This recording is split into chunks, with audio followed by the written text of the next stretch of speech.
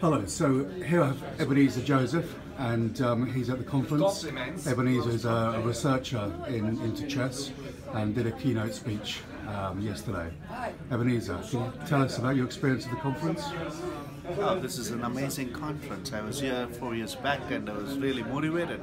And at the end of it, I've started doing a four-year PhD program and uh, I'm also been uh, nominated as a principal investigator for the Government of India funded project on, to understand the influence of chess on various cognitive functions. So it's a joy to be here with the results of some of the program. And, and your, your research is, is, does it have a particular focus?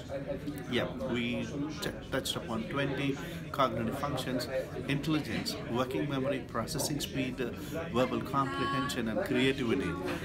And, and also we recorded the scholastic performance. We have very interesting results on intelligence and creativity.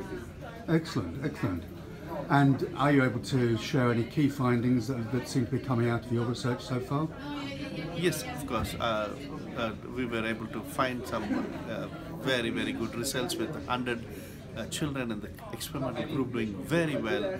The overall intelligence is getting impacted along with creativity, and there's a pos low positive correlation between these two. And we're trying to see uh, the positive, possible transfer to academic results as well. But what is interesting is chess at a different level uh, makes different impact on the cognition. And we can use part of chess, like endgame, opening, middle game, uh, tactics, to improve particular cognitive function of a child. And chess could definitely be used to various uh, uh, groups of people, like outliers who are very good and also learning disorders and with specific needs. And uh, what we find is about a four point increase in the IQ for any child who takes up chess once a week. And almost on an average, nine point IQ increase. The the intelligence is definitely impacted, and especially when we have poor children in government schools. We did in private and government schools.